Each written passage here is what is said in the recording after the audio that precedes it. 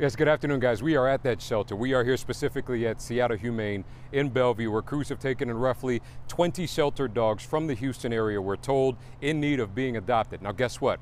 About maybe two, three hours ago, we met with a local couple who came here. They drove about 40 minutes to get here in traffic, and they decided to add a new furry family member, and here's why devastating anytime there's a natural disaster and animals are misplaced, whether it's from their homes or humane societies. Um, and my family has always adopted from this humane society, so it just felt natural to come here. Um, where we've, we've been talking about getting a dog for a while, and rescue is natural for me. We've always rescued. I've never wanted to go to a breeder. Um, and he, we didn't know about him until we got here. He's the first one released from Texas. He wasn't even released online.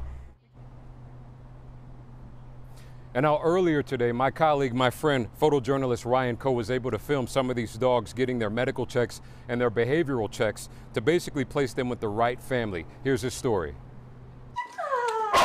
Every animal that comes to us gets a full medical check-in. Oh my gosh, you're going to be adopted this afternoon.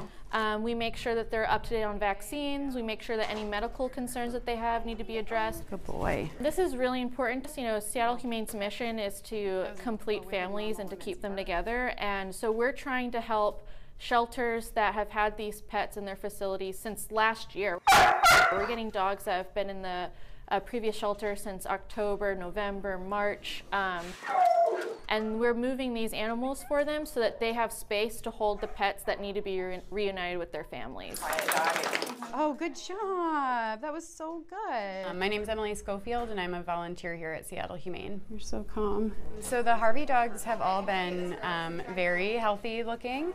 Um, they've come in with some previous conditions, but it looks like they were able to be treated for the most part at their um, originating shelter, so um, the shelter in Houston.